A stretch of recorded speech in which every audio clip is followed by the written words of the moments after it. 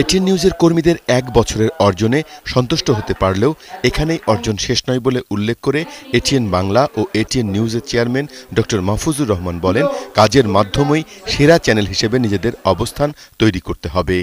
বাংলাদেশের প্রতিটি টিভি দর্শকের মুখে একটি কথা থাকতে হবে। নিউজ দেখতে হলে এটিএন নিউজই দেখা। এটাই হবে হতে হবে আমাদের স্লোগান নিউজ মানেই এটিএন নিউজ এটি হতে হবে আগামী দিনে এটিএন নিউজের সবার স্লোগান।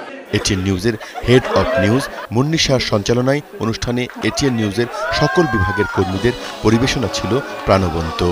আর এটিএন বাংলার মার্কেটিং বিভাগের উপদেষ্টা শামসুল হুদা ও ট্রান্সমিশন বিভাগের ভাইস প্রেসিডেন্ট তাশিক আহমেদের গলার সুরে সুর মেলায় উপস্থিত দর্শনার্থীরা।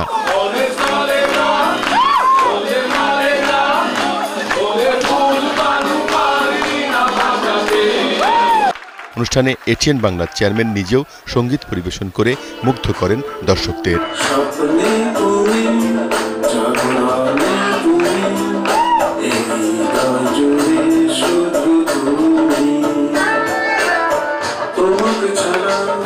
এটিএন পরিবারের পরিচালক নাহিদ রহমান ও নেসার আহমেদ সহ অন্যান্য পরিচালকরাও এ অনুষ্ঠানে উপস্থিত ছিলেন। আরিফ হুসেন এটিএন বাংলা, ঢাকা।